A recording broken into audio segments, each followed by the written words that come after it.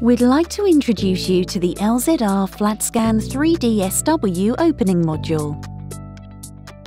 The FlatScan 3D SW is a safety sensor for automatic swing doors.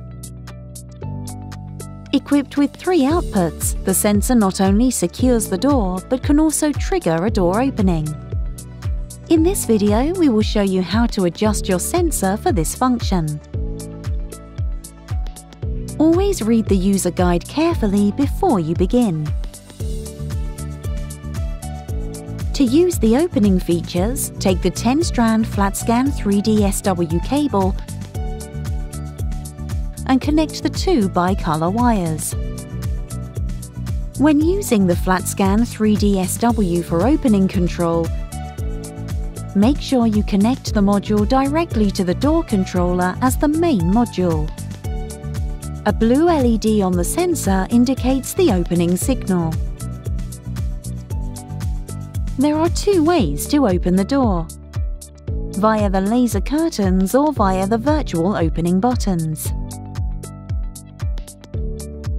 You can trigger the opening signal via the detection field's curtains.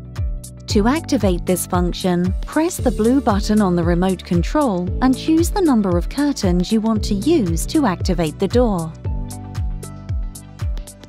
It is also possible to configure up to two virtual opening buttons in the detection field. They define a small area within which you can place your hand or foot to open the door.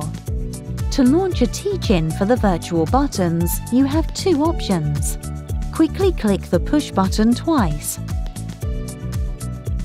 Or press the magic wand button, then number 2 on the remote control. When the LED flashes green, place your hand in the desired position to perform a teach-in for a new virtual opening button. The LED flashes red to confirm the teach-in.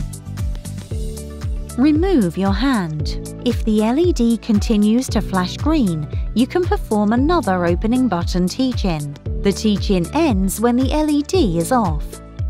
Please note that the opening buttons are only active when the door is fully closed. Inside the device you will find stickers that indicate where your opening button is. Before leaving, always check that your equipment is operating correctly.